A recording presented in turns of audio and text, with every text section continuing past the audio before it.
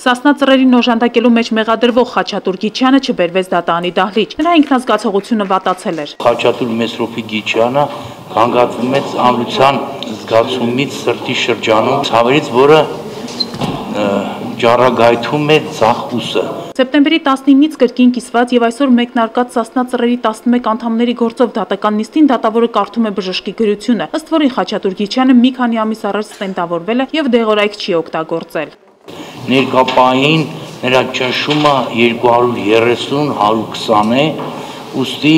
հետագա բարդությունից խուսափելու նպատակով խորհուրդ է տրվում հիվանդին տեղափոխել հիվանդանոց։ Էրեբունի եւ Նուբարաշեն վարչական շրջանների ընդհանուր իրավասության դատանի դատավոր Արտուշ Գաբրելյանը նշեց. զրուցել է շտապօգնության բժշկի հետ եւ նա տեղեկացրել է. Խաչատուր Գիչյանը նույնիսկ 5 րոպեով չի կարող ներկա գտնվել դահլիճում։ Շտապ պետք է տեղափոխել հիվանդանոց եւ կարող է նաեւ անհրաժեշտություն առաջանալ նրան շտապ վիրահատություն կատարել։ Խաչատուր Գիչյանի պաշտպանն ահազանգում է նրա մոտ միշտ էլ արկային սրտի հետ կապված խնդիրներ։ Երբեմն նա ունենում է սրտի այդ խնդիրների հետ կապված նոպաներ։ Երբեմն նրան ու Բարաշեն քրեակատարողական հիմնարկից տեղափոխում էին